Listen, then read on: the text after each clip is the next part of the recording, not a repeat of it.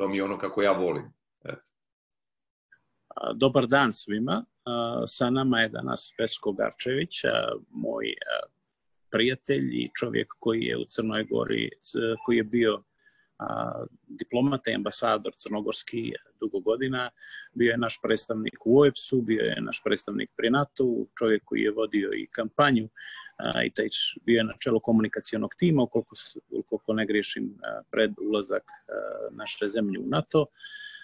Danas je Vesko predavač na Frederick Pardy školi globalnih studija na Bostonskom univerzitetu i neko sa kim se ja često savjetujem kada imam neke dileme oko, oko, oko, oko onoga o čemu pišem i onoga na čemu radi. A, Vesko, dobar dan. Hvala ti što si odvojio vrijeme da danas porazgovaramo malo o ovim nekim temama o, kojim se, o kojima se često ne razgovara u Crnoj Gori. A, Dakle, razgovarat ćemo o nekim abstraktnim opštim temama, nećemo razgovarati o dnevnoj politici, ako znam da bi svima bilo to interesantno u ovom periodu, posebno pred izbore ali razgovarat ćemo o onome što je bitno, jer smatram da on, ne postoji prostor za napredak u Crnoj Gori ukoliko se ne radi na ovim, ukoliko se ne vratimo na ove osnovne neke stvari koje čine kulturu jedne države, čine jednu lidersku kulturu, političku kulturu i promjena u njoj bi učinila, ja mislim, mnogo toga za, za naše društvo. Tako da, eto, uglavnom, htio bi da krenemo od toga kako si, da, kako si, kako je vrijeme u Bostonu, kako se snalazite, su krenula predavanja, idete li u kampus? E, hvala prvo Ljubo na pozivu, ja meni je vrlo drago da budem ovdje tvoj gost i da učestvujem u ovom tvom projektu koji smatram veoma važnim ne samo za Crnu Goru, nego regionalno, zato što stavlja akcenat ne na liderstvo kako mi znamo, već na rekao bih, principe, moralne principe um, koji treba da stoje i na kojima treba da se zasniva moderno liderstvo, uh, odnosno na kojima mi trebamo da gradimo uh, jedan pristup uh, toj temi i gradimo ili da pomognemo da se ljudi sami formiraju u tom pravcu kako bi bili lideri budućnosti i bili lideri neke, neke drugačije Crne Gore. Vrijeme je vrlo lijepo, malo je sparno, nije možda tako toplo kao što je u Crnoj Gori, ali je vrlo blizu, ali je barem ovih dana dosta sparno. Mi počinjemo e, sa predavanjima 2. septembra i mi smo jedan od rijetkih univerziteta, e, u stvari ne rijetkih, ali mi spadamo u one univerzitete koji su se odlučili da imaju predavanja na kampusu, znači mi ćemo imati jedan koncept koji je vrlo ovako složen, koncept koji pruža šansu studentima da ili prate predavanja na kampusu ili da ih prate online, ako nisu mogli da dođu u Ameriku, prije svega za inostrane studente, ili čak da ih ne prate sinhrono, već kada imaju vremena, sa posebnim modulom u tom slučaju koji bi se razvio za njih učenja.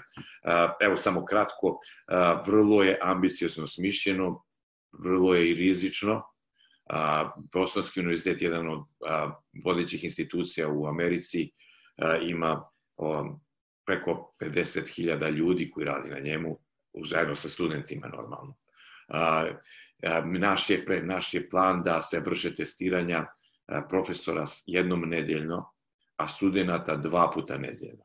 I da ni jedan student, da student ne može doći na predavanje ako nema zeleno, to je znači badge, da je, da je imao testiranje i da je zdrav.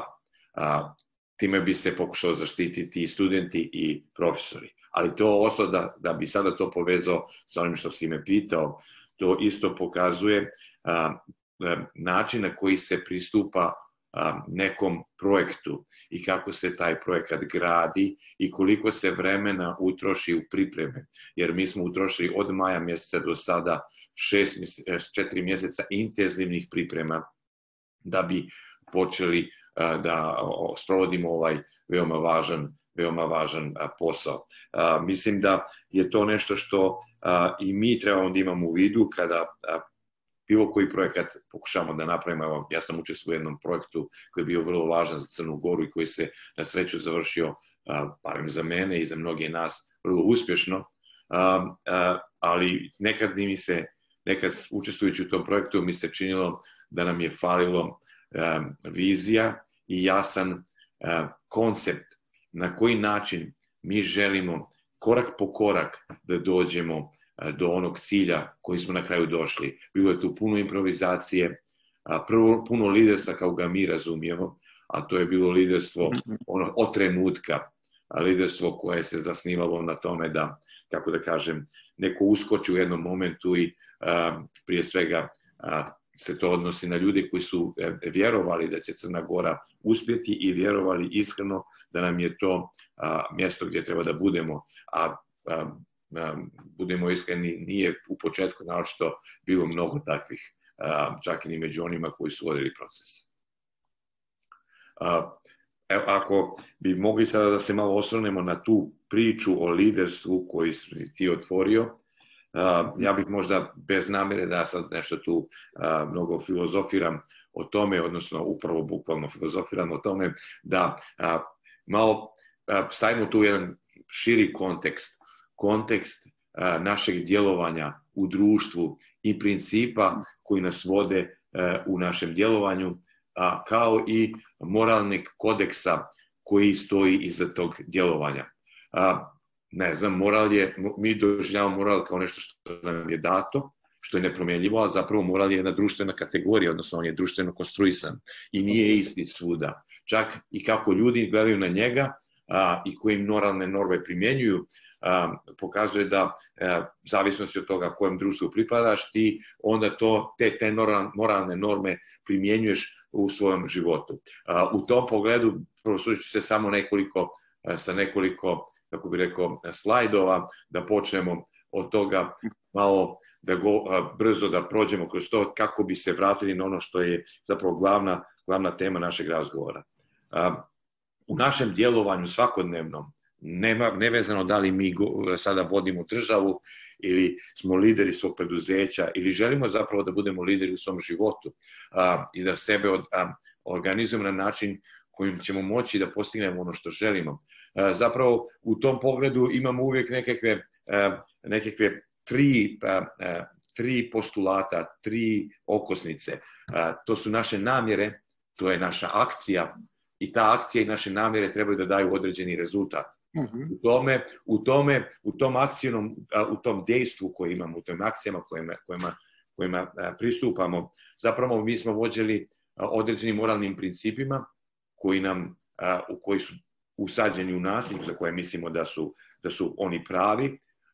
Ti moralni principi nas, kako se zove, to je jedan postulat. Drugi postulat imamo verovatno u glavi ideju o, o posljedicama našeg djelovanja, znači da li želimo da te, to djelovanje koje radimo dovede do opšteg dobra ili boljeg boljitka i konačno da li smo zapravo u svom djelovanju usmjereni na, ova, na opšte dobro drugih ljudi ili prije svega želimo sobstveni preobražaj, to jest da razvijemo sebe kao ličnost, nekog, nekog novog čovjeka koji će posle određenog vremena moći da napravi i veći uticaj u društvo.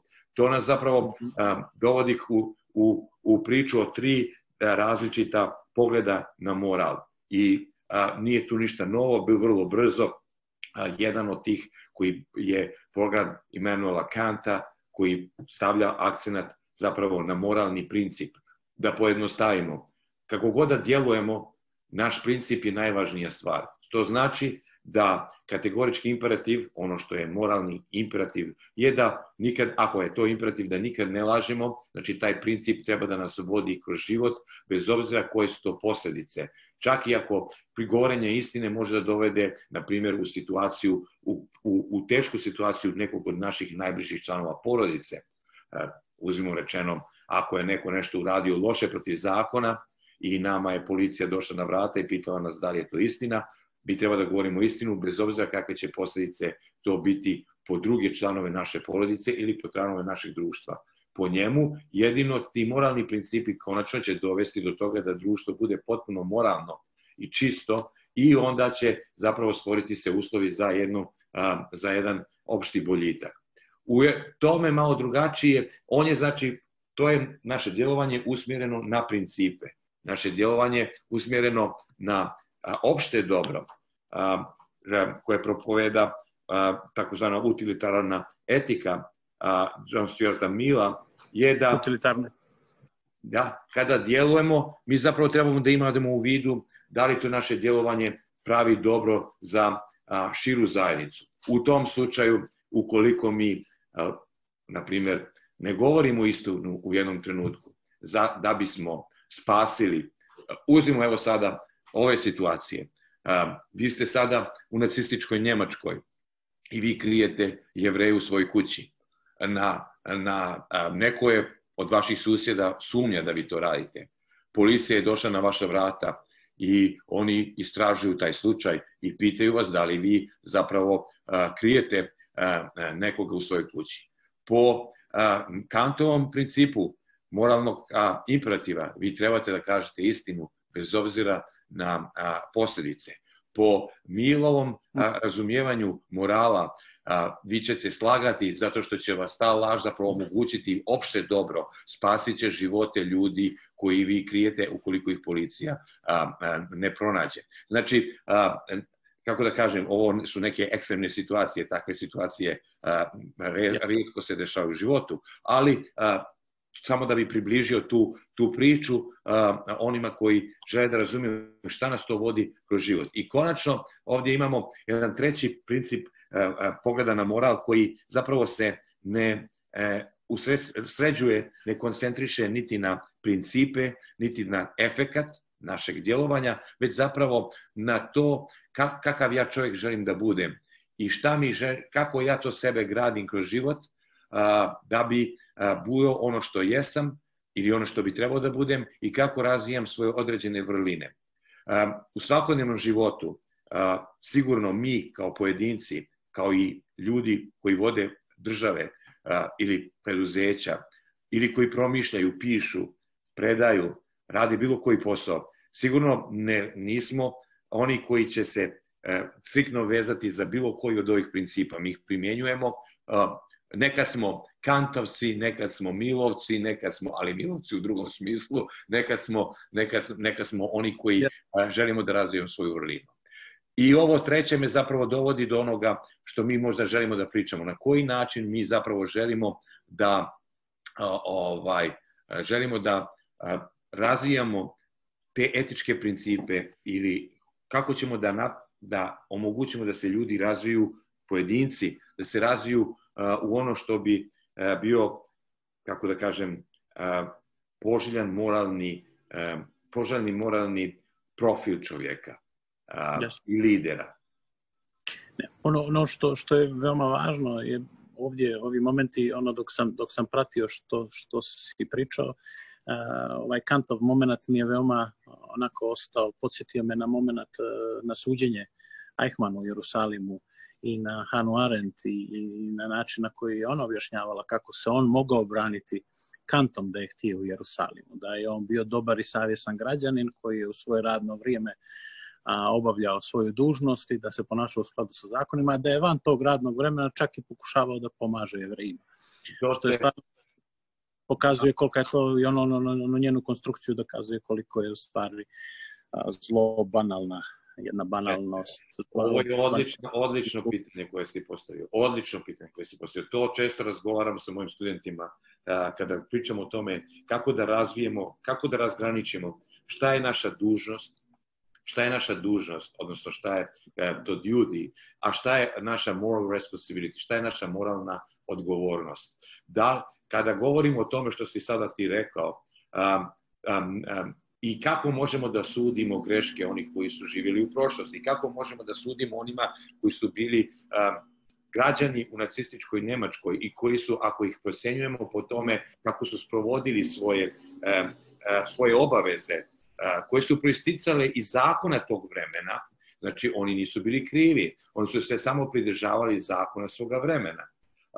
Ali postoji nešto što se zove moralna odgovornost, kada ti vidiš da s provođenjem zakona te zemlje zapravo ti kršiš neke druge zakone, time što ubijaš jevreje, Rome, Slovene ili ne znam šta, zapravo i učestvuješ u tome direktno, da li time što si ti jednostavno jedan činovnik ili jedan službenik koji radi u koncentracionom kampu, da li time si li, a, a, oslobođen odgovornosti ili ne. To je pitanje koje za napravo a, je teško odgovoriti i za njega zapravo skoro da nema odgovor. Postoji, taj odgovor možemo tražiti sa pravne strane i sa moralne strane. Sa pravne strane, koliko god je to nelogično, oni nisu krivi. Oni su se samo sprovodili zakone svoje zemlje i teško ih okriviti naknadno za ono što radi. To se ne odnosi na one koji su bili tvorci te politike. Mm -hmm. A, a, a, tvorci te politike je jedno drugo, ali oni koji su se sprovodili. Evo, u svakoj zemlji možemo o tome da razgovaramo. Nakon rušenja Sadamovog režima u Iraku, jedno od najvećih grešaka američke administracije tada je bila, odnosno američke administracije, oni koji su sproveli tu akciju. Ne želim sada da govorim o tome da li akcija bila međunarodno pravno, um, uh, kako bih rekao, uh, da li je pravo, međunarodno pravo opravdavalo akciju ili ne, to je sada drugo pitanje. Uh, I o tome možemo da organizujemo posebno razgovor. Ali, um, ali onog trenutka kada su došli i, i sproveli akciju i kada su oborili režim, Sadama Huseina. Ono što su uradili je zapravo, oni su napravili jednu stratešku grešku. Oni su njegovu partiju potpuno razbili. I matne smatrali krivim sve ljude koji su bili na ovaj ili onaj način uključeni u njegov režim, kroz partiju. Time su prvo urušili državu, jer tamo država kao takva nije postojala, država je bila partija.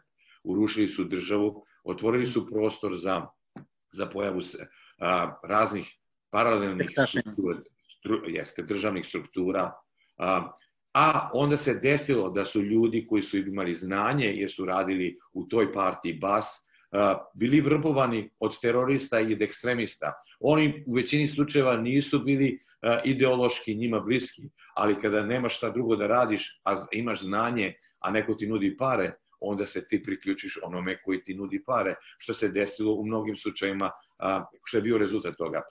Time to otvara pitanje na koji način mi, na koji način se može vršiti tranzicija u bilo kojem društvu koje prelazi iz totalitarizma u demokratiju.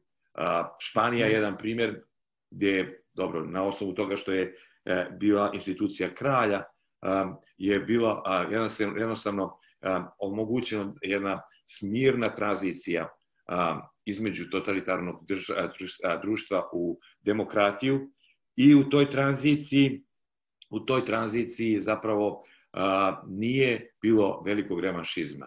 Mhm. Već je e, e, bilo je sigurno poziva na odgovornost oni koji su bili u rukovodećem kadrovi i koji su formirali politiku, ali nije bilo um, um, remašizma koja je išao od ozgo na dolje do, do, do, posljednjeg, do posljednjeg nivoa, već je samo se tico onoga što je, što je, kako se zove, uh, što je bilo vrh države.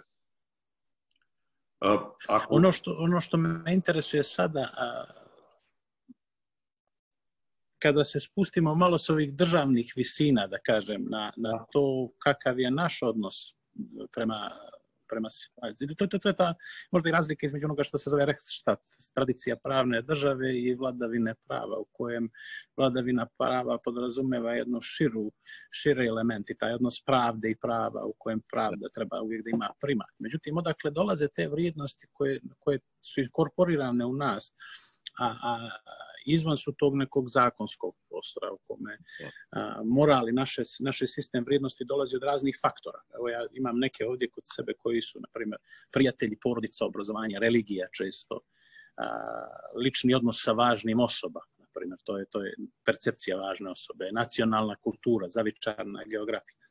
A, u tom nekom momentu, po onome što, što, što, što bi trebalo da, da bude proizvod svega toga je jedan sistem vrijednosti ili unutrašnji moralni kompas koji, za koji, na primjer, religija kaže i vjeruje da ga svako od nas, od ljudskih bića, ima u sebi predestinirano. Ali, ali evo, ja mislim da, da se on gradi kroz, kroz uh, socijalnu, kroz društvenu emancipaciju.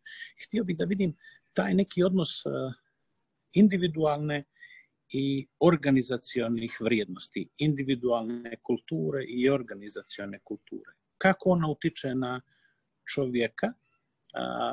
Da li čovjek s jednim sistemom vrijednosti može da sebe da u potpunosti u organizaciji koja nije, nema usklađeno sistem vrijednosti kao što, što ga ta osoba je. Da li čovjek mora, to često ponavljamo tu vježbu, da kada ulazi u tu organizaciju koja, koja nije usklađena sa njegovim sistemom vrijednosti, da stalno nosi masku, masku i da se koncentriše na to i da ne može do kraja da da svoj maksimum taj, taj neki sukob i taj neki moment gdje mi na McCain institutu često o tome razgovaramo je, je neproduktivan, stvara jednu neproduktivnu sredinu. E dakle, sad postoji taj primjer gdje se e, nalazi to sweet spot, slatko mjesto, mi nemamo bolji prevod, ali ta, ta, to neko mjesto preklapanja nacionalnih vrijednosti, organizacijenih i naših individualnih vrijednosti je mjesto koje daje daje najbolje rezultate kada je u pitanju naša efektivnost, naša kreativnost, oslobađanje naših talenta.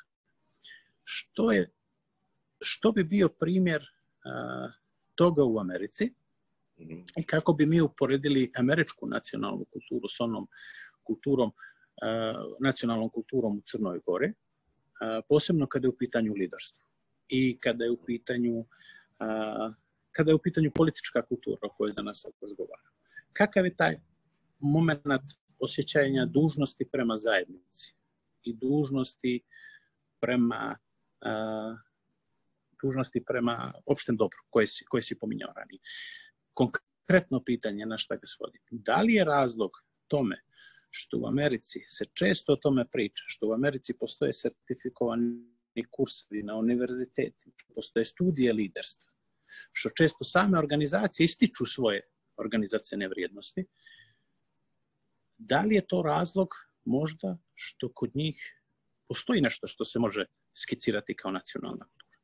Dok sa druge strane mi, ne samo mi, nego zemlje koje su u tranziciji, zemlje koje su imale veli, doživjele velike traume, ne govorimo često o tome, ne, posveć, ne posvećujemo veliku pažnju tome. Da li misliš, ovo su neke teme, više su i neke konstatacije i pitanja na koje bih volio da čujem tvoje mišljenje, tvoje iskustva, nekoga ko može da uporedi to, neko ko ima američko i crnogorsko iskustvo i na koji način misliš da, da priča o liderstvu doprinosi boljoj liderskoj kulturi krajnje? Um, ovdje ja bih iz ovog svog komentara i pitanja izdvojio dvije stvari odnosno, kako bih rekao, dva elementa, najmanje dva elementa, može da ima puno. Jedan element je e, na koji si ti e, e, stavio akcenat na početku i, i oba se vrlo dodiruju, zapravo jedan proizilazi iz drugoga a to je da je pitanje morala ili pitanje vrline zapravo pitanje društvene konstrukcije, što ja lično vjerujem.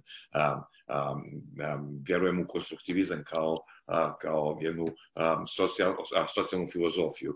A, znači, a, u tom pogledu a, razlike a, evidentno postoje a, između američkog društva i našeg društva, jer su ta dva društva i morali konstruisane na, na različite načine. I e, to je praktično razlika između koja se prije svega o, može vidjeti na, u odnosu dru, pojedinac društvo, odnosno pojedinac kolektiv, pojedinac grupa. Ta jedan grupna dinamika u američkom društvu i grupna dinamika u našem društvu su a, prilično različite. A, Ovo ne znači da je jedno društvo bolje, drugo društvo gore. Ovo samo znači da su ta dva društva različita. U američkom društvu, kao, kao što i sam znaš, je, je a, vrlo važno a, a, dobro pojedinca. A, smatra se da poje, dobar pojedinac, dobro pojedinca pravi dobro za kolektiv. U okviru tog a, a, načina razmišljanja, uzmimo to kao jedan ekstrem, jer vrlo je teško reći da takav ekstrem postoji, ali to je kao neki ideal. Znači, u tom načinu ponašanja, u tom društvu, data je tebi sloboda da se razvijaš u pravcu kojem ti želiš, ako to želiš i na način kako ti možeš.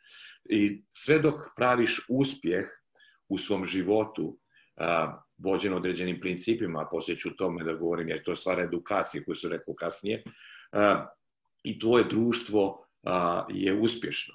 Ono je uspješno jer ono je konglomerat od mnogih pojedinaca koji u tom društvu žive kao pojedinci, individue i kao takvi komuniciraju jedan s drugim u želji da ostvare svoje, svoje planove, svoje ideje, svoje snove. Naše društvo je mnogo kolektivistično, kolektivi, naše društvo je kolektivistično i ono stavlja kolektiv često ispred pojedinca ono je sada u procesu tranzicije, kao što je i samo američko društvo u procesu tranzicije od dvih, ne samo od 2016. nego u posljednjih ne znam koliko godina. A, ali i dalje taj kolektivistički duh je vrlo, vrlo jak.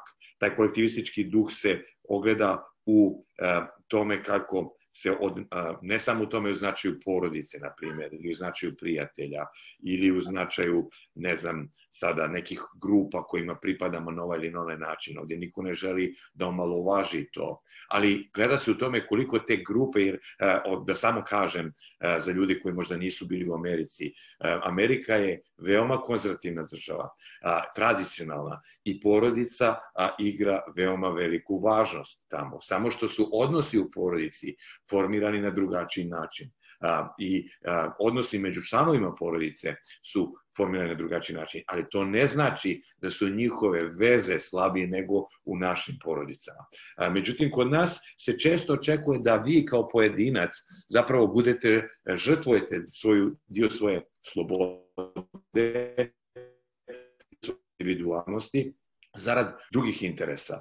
Da li je to sam nekad interes porodice, šta god da to znači, nekad interes neke grupe e, koje pripadate, nekad je to interes partije u kojoj ti moraš da budeš jasan vojnik svoje partije, koji sluša i glasa kako ti se kaže. E, a poredite samo to sa američkim, e, američkom kongresom, gdje, na primjer, možete imati republikance koji glasuju protiv predsjednika ili demokrate koji glasuju za republikance, zato što u tom pogledu i u tom u, po tom pitanju oni misle slično a, i za, imaju slobodu da to rade.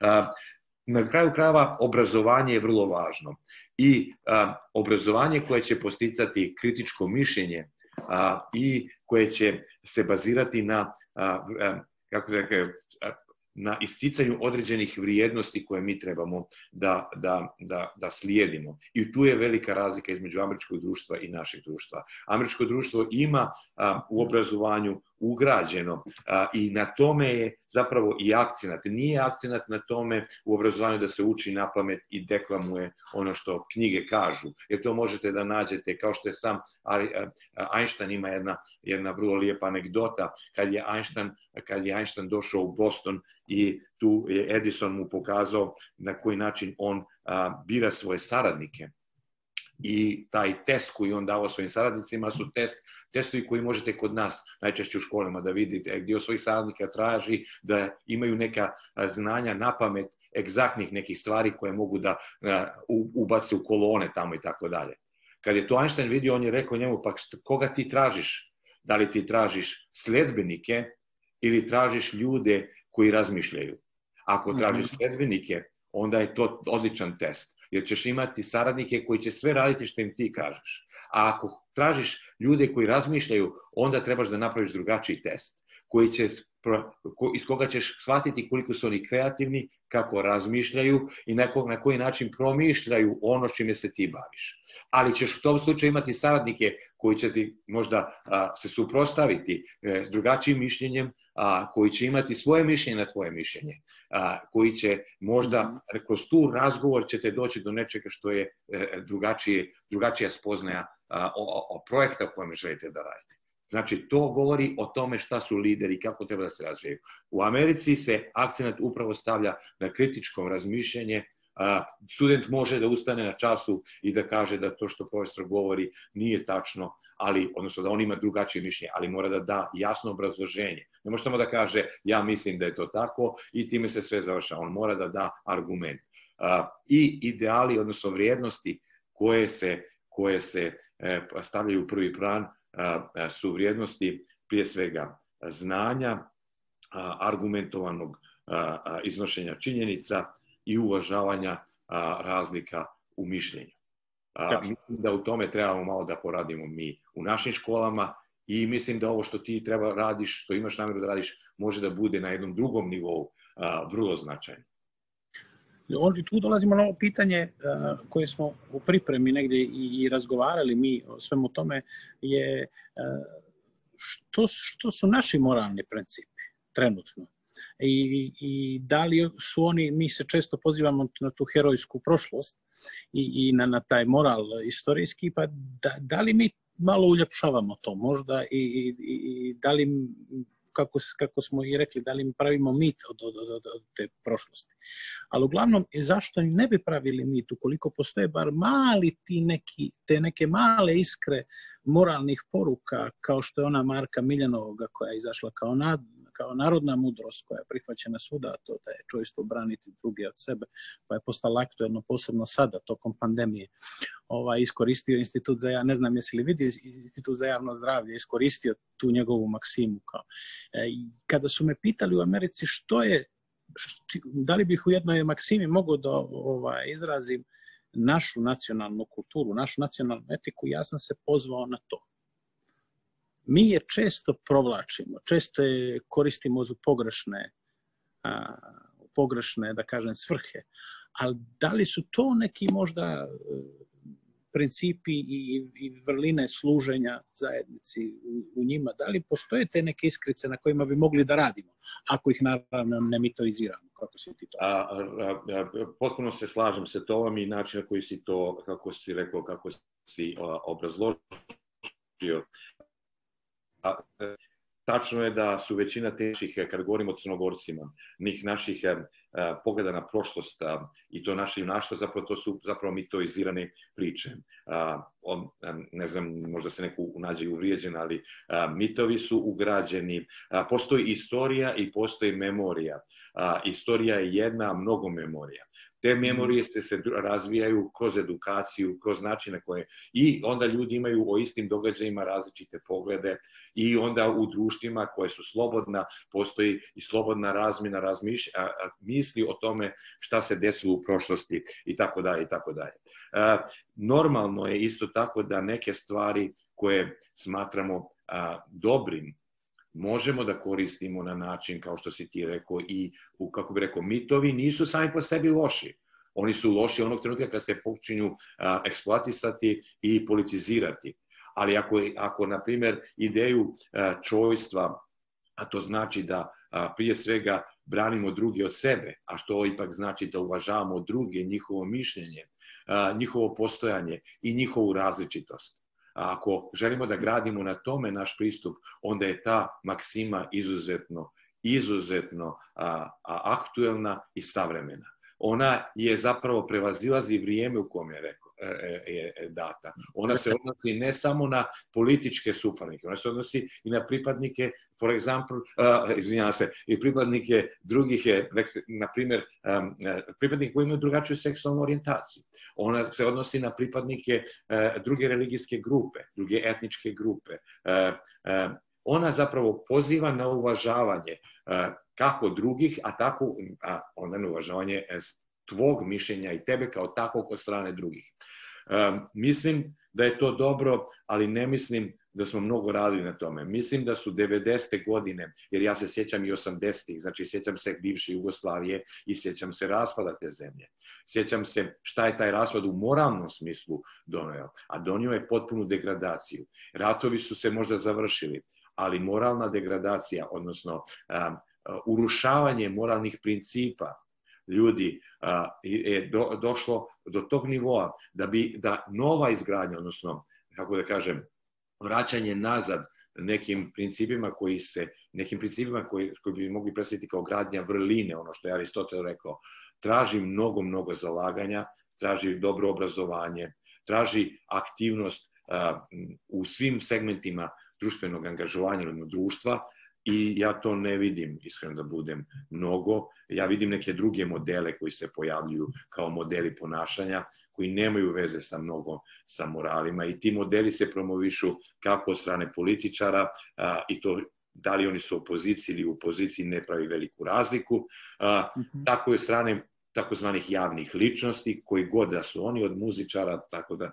do čak i do nekih gdje ne bi to trebalo da očekujemo, na primjer umjetnika a, i ne znam ja koji, koji promovišu neke, neke ideje koji, i moralne principe koji apsolutno ne bi, ako da kažem, ne doprinose stvaranju jedne zdrave atmosfere u društvu.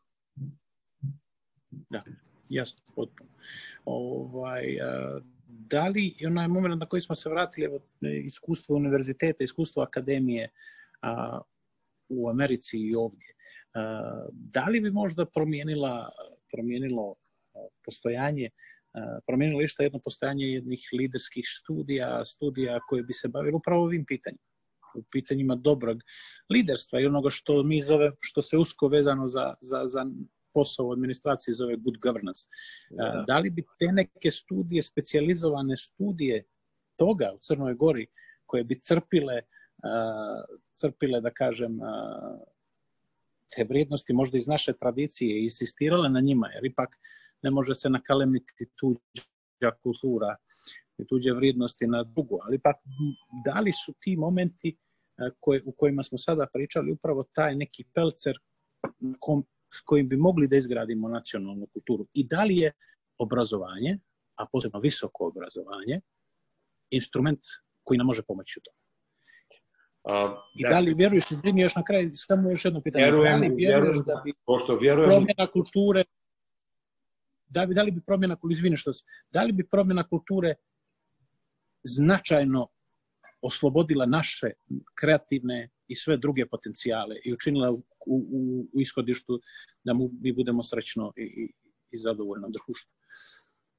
A, prvo mi, e, da počnem s onim što si ti završio. Mi smatram nas kao, a, kao ne samo crnogorce, nego smatram ljude sa naših dijelova sa, iz ovog dijela svijeta, iz ovog dijela Evrope kao vrlo kreativni. Mi smo kreativni zato što nikada nismo živjeli u organizovanim društvima. Mi smo živjeli u nekim poluorganizovanim ili neorganizovanim društvima, hibridnim sistemima, um, poluautoritativnim sistemima i tako dalje. Svi, sva, ta, sva ta okolina naša tjerala nas je da improvizujemo, da se snalazimo i e, stvarala kod, kod ljudi tu potrebu za, da na kreativan način nađu rešenja da bi živjeli svoj život. Ta kreativnost ste mogli da vidite u jednom momentu u regionu, ne samo u Crnoj Gori, je bila oslobođena i trajala je, nažalost, relativno kratko u momentu izbijanja a, a, pandemije, a, kada su ljudi ostali kod kuće i kada je odjednom, a, rekao bih, onaj pritisak a, a, te jedne pseudokulture i pseudodržave a, prestao, a, odnosno smanjio se. Ljudi su da bi mogli da rade, odjednom počeli da a, stvaraju neke nove ideje, a, odjednom se pojavili ljudi mladi koji su bili koji nisu bili uopšte prisutni ili nisu želi da budu prisutni, sa novim idejama, sa novim planovima, sa no, načinima kako da se neke stvari prevaziđu. Znači, e, vraćam se konstruktivizmu, kao čovjek koji vjeruje to, Ne postoji, ne postoji sistem koji se ne može dekonstruisati. Znači, ne može se nešto, da se nešto ne izgradi. Jer sve ovo što vidimo oko sebe je izgrađeno. Znači, u tom pogledu vjerujemo u ono što se, da postoji, da je uloga ne obrazovanja izuzetno važna a, i da je obrazovanje, a, visoko obrazovanje izuzetno važno i da ono mora biti nakalemljeno na ono što se radi u srednjim školama, jer mislim da u srednjoj škola je takođe važna. Da predmeti koji bi se odnosili na moral, na onda prvo da samo kažem još jednu stvar, kako mi drugačije u pojmovnom smislu shvatamo lider, liderstvo kada neko kaže liderstvo kod nas, mi imamo negativnu konotaciju na to. Mi smatramo da je to nešto bez veze, da je to loše. Mi to povezujemo odmah sa nekim političarima koji kradu, koji su korumpirani i tako dalje. Liderstvo se odnosi na to kako ti vodiš sebe kroz život. To se odnosi na to kako ti procjenjuješ svoje sposobnosti. To se odnosi na to kako ti izgrađuješ sebe i na koji način, kao što si ti ono rekao, sebe stavljaš u kontekst grupe koje doprinosi. Hoćeš li ti kao čovjek da mi, učestvuješ u mimikriji a, i a, radiš nešto što, što ti ne voliš samo da bi bio tamo u toj grupi ili hoćeš da budeš čovjek koji je formiran, da a, autonoman i koji želi da razmišlja a, kreativno i drugačije i da time način doprinosi a, društvu u kom živi. U tom pogledu se a, li, a, ideja liderstva odnosi. I ta ideja prvo promjena tog shvatanja mora da počne u srednjoj školi. Promjena tog shvatanja mora početi kroz um, for, a, kako je, promovisanje ide, ideja kojom se ti pričao, koje smo se složili, koje Crna Gora ima, koje su moderne ako se na moderni način a, pre, a, prezentiraju, a koje se baštine, odnosno ukorinje su našoj tradiciji. A, a onda, jedan viši oblik toga, ti došao na jednoj u, u, na univerzitetu, gdje bi, ja ne mogu da zamislim fakultet političkih nauka, koji nema takvih programa, koji nema ni jedan predmet, koji ne, u kome, u, u, u, u, koji ne postoji, ne postoji, ako ne postoji katedra, ako je to sad previše ambiciozno, barem nešto kroz predmete čime bi se to bavili. A, uzeo sam taj fakultet, mogu da sad naređam sve fakultete, na njih se sve to odnosi. Znači, u tom pogledu prvo postoji mjesto, postoji potreba, postoji potreba, postoji mjesto, a, ali je potrebno da se redefiniše e, pristup. A, I tu je ono što bih rekao da mi e, ne radimo. I zato mislim da ova tvoja ideja je pionirska, rekao bih, pionirska. Ja tebe sad doživljam kao neko ko je a, ašao i počeo da kopa, da, da, da radi, kako bih rekao, osnove za nešto što bi trebalo da bude e, u budućnosti nekakva e, opšte prihvaćena stvar. Veoma interesantno, ovaj, sad ću se sjetiti, prošle nedelje sam razgovarao sa jednim liderom uh, iz Bjelorusije, aktuelna tema, Jaroslav Bekiš, koji je ovaj, moj kolega s McKinney instituta, i onda on meni ispričao pričao o tom momentu da je liderstvo isto bilo kao i kod nas, neka jedna negativan pojam u bjeloruskom društvu. I da je upravo u posljednje ova dešavanja koja se dešavaju kod njih, da su proizvela to, taj povratak povjerenja u institucije da se ta uzajamna solidarnost na ulicama koja se dešava u Belorusiji ovih dana, koja se spontano pojavila mm. jednostavno onda kada više nije taj nakrivljeni sistem mogu da servisira sve potrebe u kojima su oni svjesno političku neaktivnost, neučestvovanje u političkom životu zamjenjivali za neku vrstu ekonomske stabilnosti koju nudio taj -hmm. taj sistem.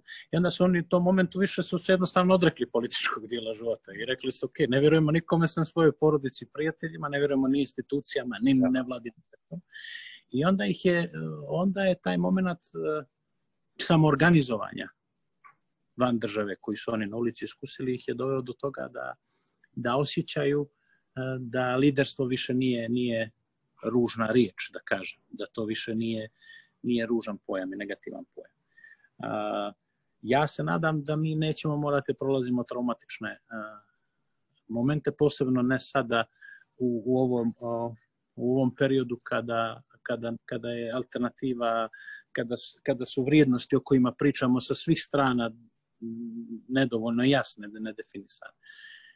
Zato bi, mislim da bi trebalo uložiti u neki taj evolutivni razvoj i evolutivnu promjenu naše političke kulture, a onda će se na nju, onda više neće ne biti važno, ja mislim ukoliko bi se formirala ko će biti na vlasti i koja, koja će osoba, o tome je Wilton Friedman govorio još, da. on, nije bitno koga ćete birati ukoliko možete da ga natirate da radi ono što vi želite da on radi. O, pa, da... to, to si upravo, to je osnovni princip demokratije da je kontrola vlasti i smjenjivost vlasti je, ali da bi za to dobio mogućnost trebaš da a, pođeš od drugačijih pojedinaca. Jer na kraju postoji ona isto teza da svako društvo ima vlast kako zaslužuje. Znači, pojedinci zapravo na ovaj ili na onaj način e, biraju neke određene ljude ili određeni profil ponašanja, određeni profil lidera koji oni smatraju da je pogodan, što dovodi od ljude koji su protiv njih ili koji glasaju za drugu stranu u veoma tešku situaciju, jer u takvim društvima biti manjina je vrlo teško.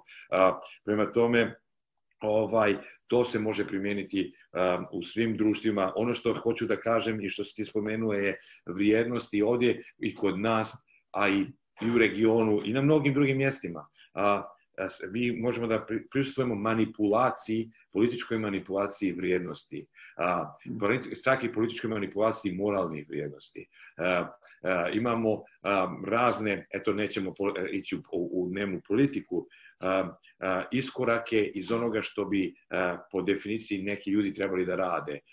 Imamo jezik koji ne pripada onome ili onoj instituciji koji ti ljudi služe.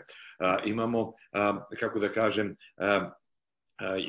imamo ulogu, preuzimanje uloga koja je, e, koje, koje ne pripadaju određenim ljudima i uz to a, njihovu slobodu da to rade jer se smatraju da nikome nisu odgovorni. Znači, e, to je, a, to je vrlo teško. E, u takvom, takvi, takve situacije se, kada bi imali jednu drugačiji pristup a, formiranju a, pojedinaca i njihovog osjećaja kako da vode sebe i kroz svoj život, e, onda bi vjerovatno takve situacije a, bilo teško da dođe, jer bi bilo već u ranoj fazi bi došlo do ne kažem pobune, ali jednostavno ljudi bi reagovali i onda a, a, situ, a, mogućnost da takvi ljudi ili takve, takve, takvi e, načini ponašanja a, postanu opšte prihvaćeni bi imali manje šanse. A, dugi je put napred. Ja sam samo htio na kraju možda, a, eto da kada govorimo o tome kakav bi neki lider i ne znam ja, trebalo da po meni da trebalo da bude teško je govoriti o tome koji je neki lider koji mi na primjer nekoga od nas inspiriše naročito kada imaš kada pređeš neke godine prestaješ da budeš takav prestaješ po definiciji da budeš ono neko ko kuje neke ljude u zvijezde i vidi samo dobro i tako dalje, tako dalje. Postaješ vrlo realističan i vrlo kritičan prema svakom. Prije svega, na, nadam se prema sebi, što je isto jedan vrlo važan element izgradnje svog lider, pristupa liderstvu, a to je da budeš samo kritičan, ako se vratimo Aristotelu ili tim njih, onim nasljednicima, kako gradiš svoju vrlinu iz sebe i kroz neprestanu kritiku onoga ko si, šta si i tako dalje. Možda jedan od tih ljudi koji bi mene mogu da inspiriše je Nelson Mandela zato što je zbog nekoliko razloga, ali bio ću vrlo brzo. Prvo, on je prije svega bio čovjek. I u tom pogledu imao je razne faze u svom životu. Mnoge postupke koje je činio nisu bili možda u tom pogledu u, u to vrijeme najbolji, što je dovodilo one koji, za koje se bori u tešku situaciju. Znači, ako bi Milovu um, autoritarnu etiku primjenjivali, onda bi ta autoritarna etika bila neprimenjiva u njegovom slučaju. A možda bi bila neka druga primjenjiva. A, a, neki su ga smatrali komunistom i ljevičarem, i čak i teroristom, drugi su ga u to vrijeme smatrali e, kako, oni koji su bili e, pre, na lijevoj strani. odigrao je definitivno a, vrlo značajnu istorijsku ulogu, a, kao rijetko koji lider u 20. vijeku, za, na kraju krajeva to je i možda jedan od rijetkih, ili ne od rijetkih, ali jedan od onih koji su zasluženo dobili Nobelovu nagradu za mir.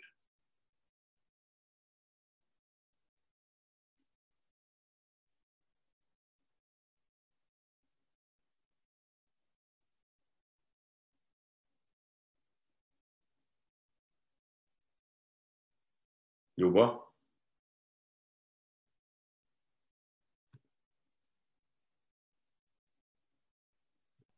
Nije bio a, viđen kao naj, politički najsveshohidniji, a, a, prije svega u nekim mlađim godinama promovišući oružani, oružani otpor, zbog čega je dugo vremena i bio u zatvoru, bio je zapravo osuđen na doživotnu robiju.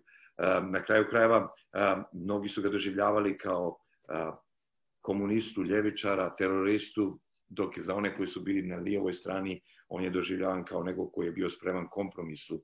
A, izgleda da je ta njegova crta spremnosti ka kompromisu zapravo preovladala, jer, na, jer kada je konačno izašao iz zatvora, a, a, kroz proces dogovora, znači kroz proces političke evolucije, a, kroz a, institucije, uspio je da za, a, omogući kraj apartheida a, i prve slobodne izbore u Južnoafričkoj republici na kojima su crnci mogli da učestvuju a, kroz svoje, sa svojim političkim partijama i na kojima je i on dobio a, a, mjesto, a, svoju mjesto predsjednika kao predsjednik na drugoj strani a, je odlučio da ne posegne za represivnim političkim mjerama i kažnjavanjem dojučerašnjih a, ne samo političkih oponenata, ali protivnika, već onih ljudi koji su a, čak manje ili više direktno bili involvirani, uključeni u apartheid.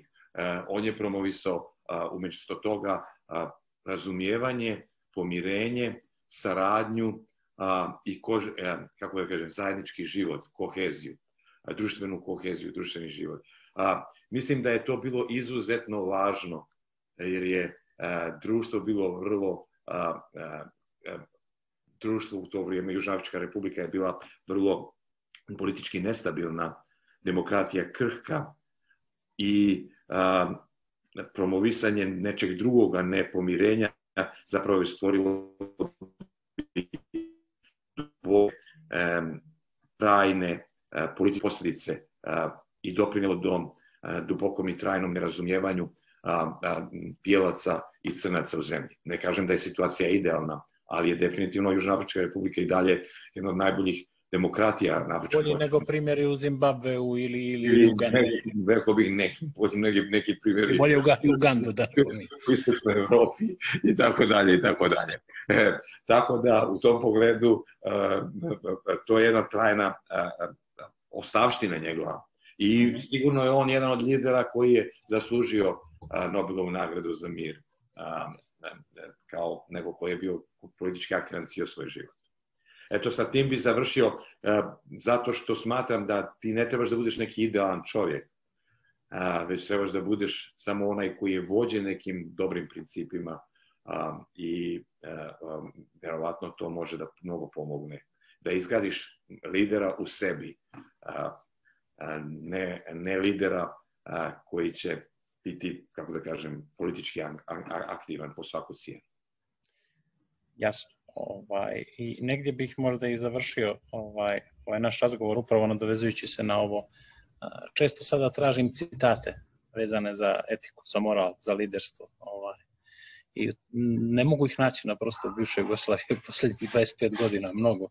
Uz izuzetak Đinđića koji je eto, negdje promišljao moral. A, promišljao ga jer je bio filozof sam. Da, i njemu je što ga je na kraju došlo, da, došlo glave. Došlo glave. Zato i danas, zato i danas teško naći, naći, naći te citate. Mendelu možemo citirati mnogo, iako je čovjek a, sebe obrazovao u zatvoru kroz 27-godišnji period. I zato i jeste jedan od lidera oko kojih postoji kompromis, da je, da je karakteran lider, ono što mi za nas zovemo karakteran. Vesko, hvala ti puno na razgovoru. Hvala i tebi još jednom na pozivu. Nadam se da je bilo korisno. Naravno. Da nije bilo dosadno i nadam se da smo uspjeli da neke zanimljive ideje jednostavno, kako da kažem, na jednostavan način prezentiramo. Tačno. Ovako, hvala puno.